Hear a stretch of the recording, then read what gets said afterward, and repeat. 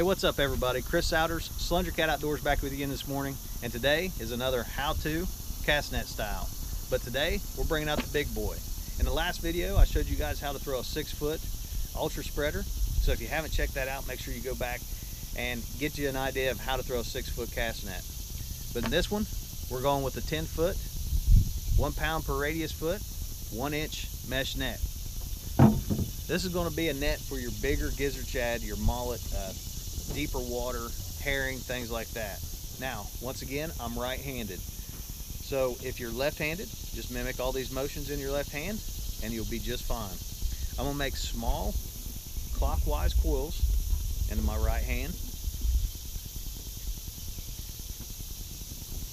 I'm gonna come down and I wanna leave about a foot of lead line and this is a 26 inch foot lead line. And I'm gonna grab the horn of the net and I'm gonna start stretching it out, okay?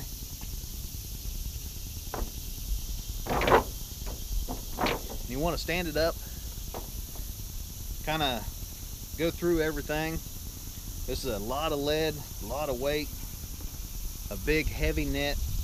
You wanna make sure nothing's tangled, nothing's gonna hinder you from opening it up, okay? So, now once you grab the horn, this net, for me, I gotta grab it twice. And what I mean by that is I'm, just like my coils, I'm going to wrap, wrap it twice, okay? And everything else is gonna be right at your waist. Uh, remember, everything, all your power is gonna come off of your waist whenever you go to throw the net. Now, to finish loading this net, we're gonna pick it up and we're going to fan about a third of this net up. Okay? And where you grab it should be about halfway between the lead line and the rest of the net you have in your hand. And that's just going to lay up and over top of everything else. You're going to come down. You're going to grab that lead line one more time. And that's going to go under your thumb and over top of everything else then you would grab it one more time and this is where you would hold on to to kind of help that net pop open. And the net will actually pull this out of your fingers as long as you're not holding on to it to, holding on to it too tight.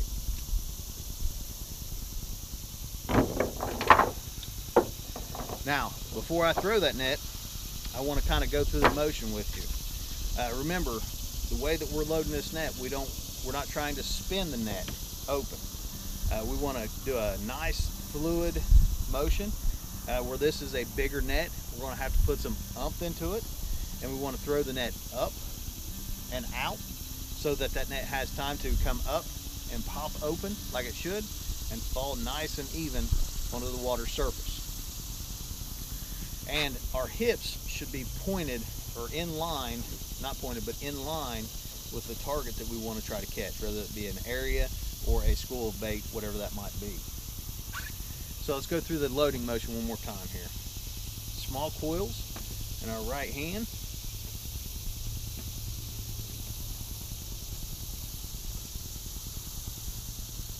And once again, this is a GS 1000.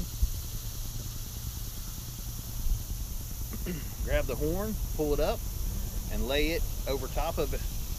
And that's going to be about a, a foot, a little over a foot. Stretch the net out good. And then come down to your waist, okay? And remember, everything should come off of your waist. That's gonna help give you power and just help everything be fluid and smooth and even every time. The more consistent you are with loading a net, the better, more consistent results you'll get. And we're gonna fan about a third of the net up and lay it up and over top.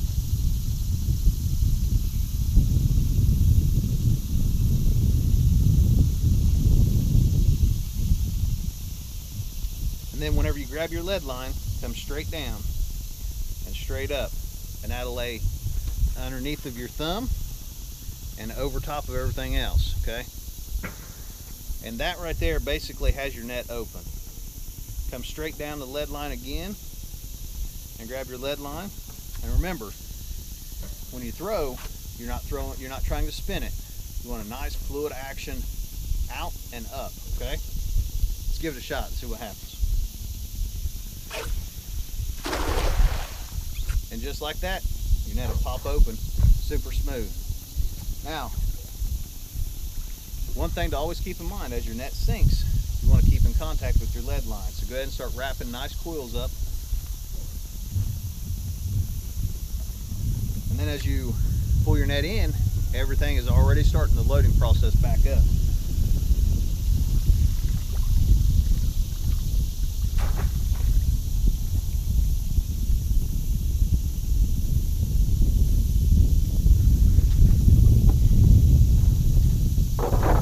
Catch nothing, you're ready to load right back up and throw again.